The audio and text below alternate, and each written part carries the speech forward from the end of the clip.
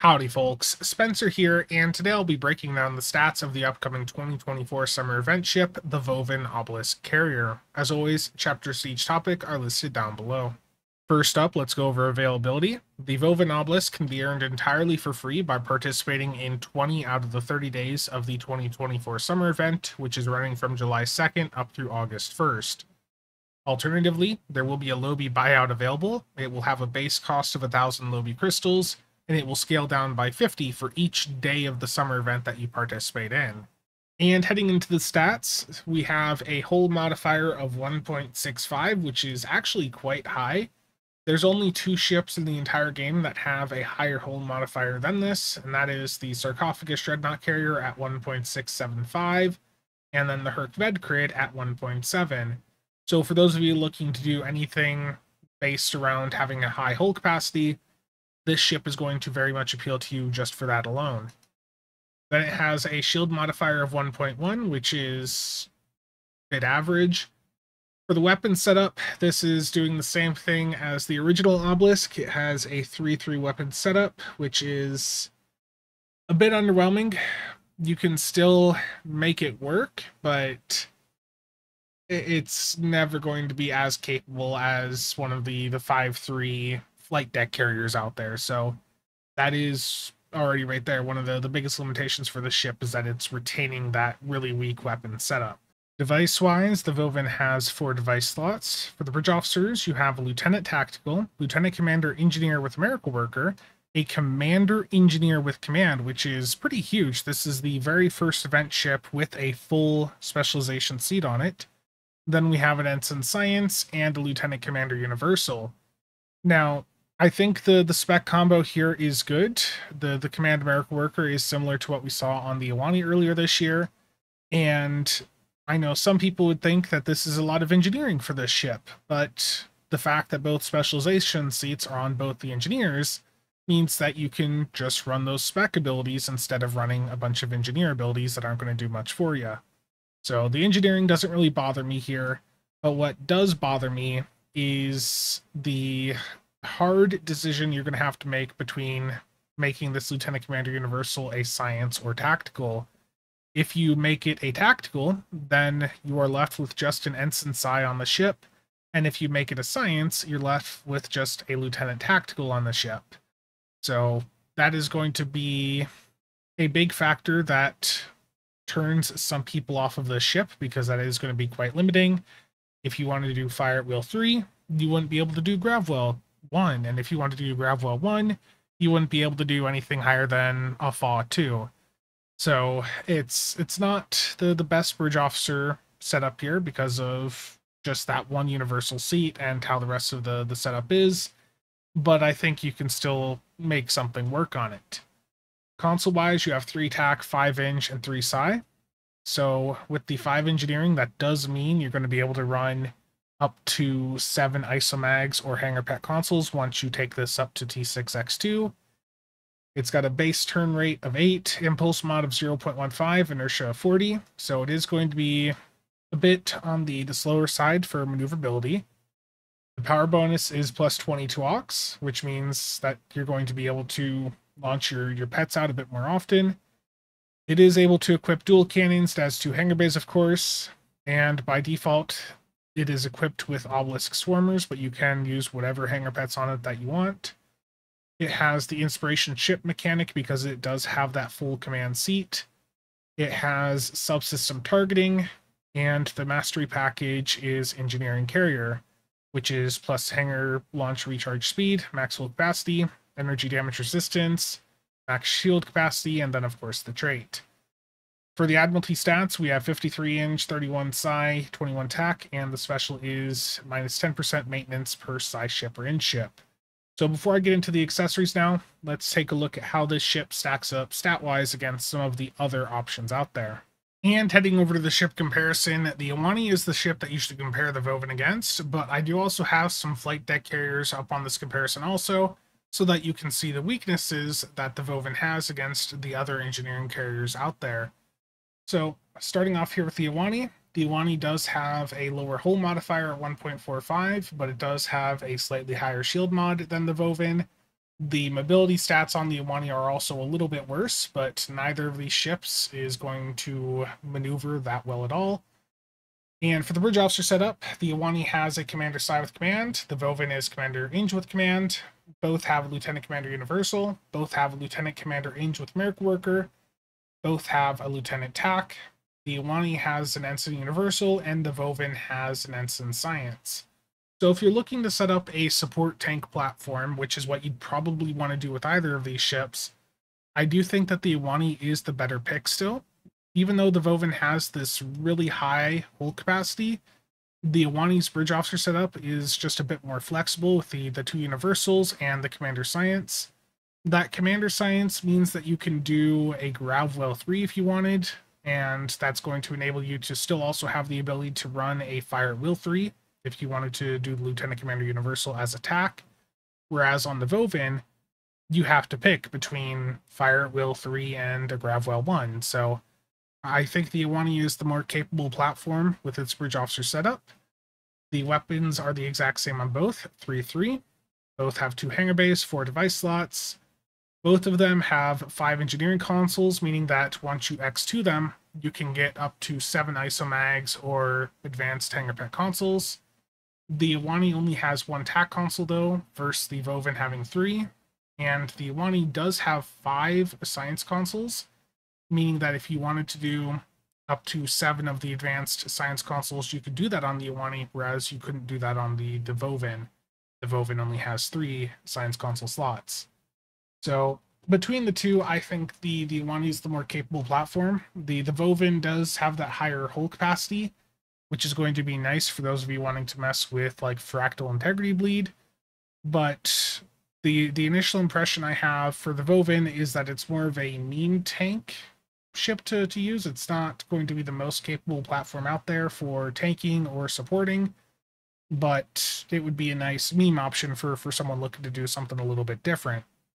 And for both the Iwani and Vovin, uh, rather than having cruiser commands, they have access to subsystem targeting, which is not a good trade off for the Vovin. Okay, and a quick comparison now against the feature set that the flight deck carriers have. I'm not going to do one for one comparisons against these flight deck carriers because most of these are much more expensive. Though, to be fair, the, the Vovin Obelisk is only free for the month of July of 2024. And after that, it's going to be as expensive, if not more expensive, than some of these more premium options because of the 1000 Lobi buyout. So the the Vovin right now, you know, it's it's designed as a free ship, and free ships are always designed to be a little bit weaker. And the feature set that this one has is that in order to get the two hangar bays, it does have a weapons penalty. So you only have a 3-3 weapon setup, whereas with the flight deck carrier, you have two hangar bays, but no weapons penalty, meaning that you have eight weapons either in a 4-4 or 5-3 config. And for the obelisk, you also don't have cruiser commands. Instead, you get subsystem targeting, and that is substantially weaker than what the, the cruiser commands can offer. And for the flight deck carriers, they get the plus shield and threat ones, meaning that if you were looking to set up a, a tank build, having that threat cruiser command on a flight deck carrier is going to be a rather substantial boost. So the obelisk, it is still a very capable platform, but in the, the grand scheme of how carriers are balanced, these flight deck carriers have a very, very strong lead over the feature set that the Obelisk carrier has. And heading over to the accessories, we have the console here, Subspace Fracture Tunneling Field. We are not sure how this ancient civilization managed to apply the principles of subspace travel to such a precise degree as to enable them to use it in battle. By creating a subspace fracture, the ship can tunnel towards a target, traversing a vast distance in what appears to be instantaneous movement due to the differences in space-time density between dimensions. What we do know is that this technology should not fall into the wrong hands. This console provides a substantial passive boost to hull regen and can of course be equipped on any ship. So this is a teleport console and that's pretty much all we know about it right now. So We'll have to wait to, to see if there's any other parts to this console once we have it next week.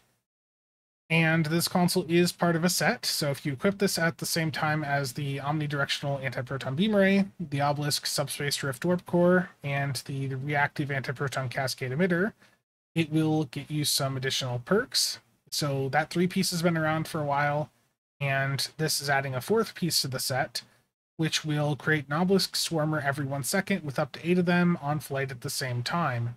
So it's an extra 1.3 bays of the the hangar pets of the the obelisk swarmers. So if you have that four piece on, it's like having three bays of the the swarmers on your ship. Now, I know some people are probably excited to to mess around with that set, but I would temper your expectations.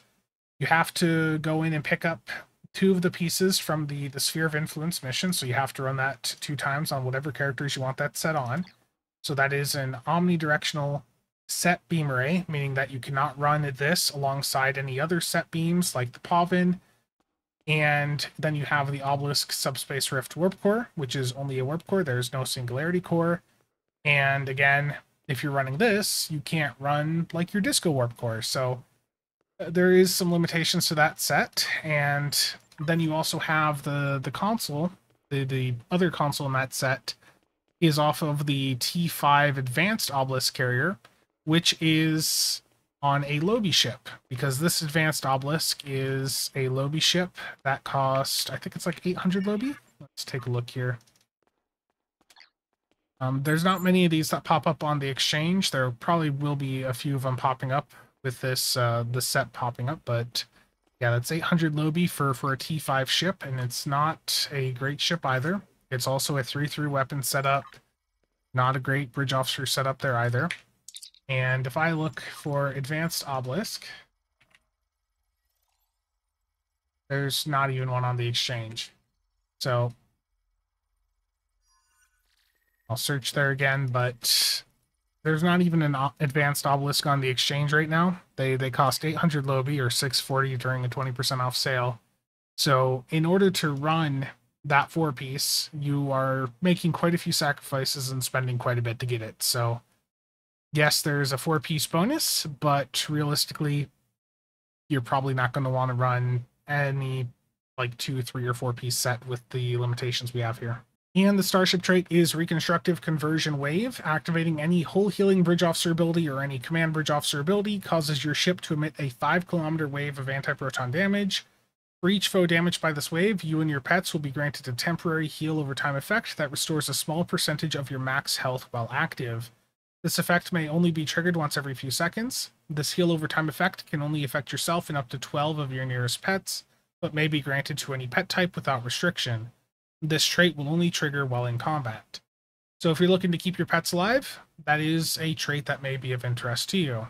And the pets here are just the same old ones we've had for, for the past decade, the, the obelisk swarmers. So you have the three varieties of them that you can go in and pick up these pets really are not anything that special from from what I can recall.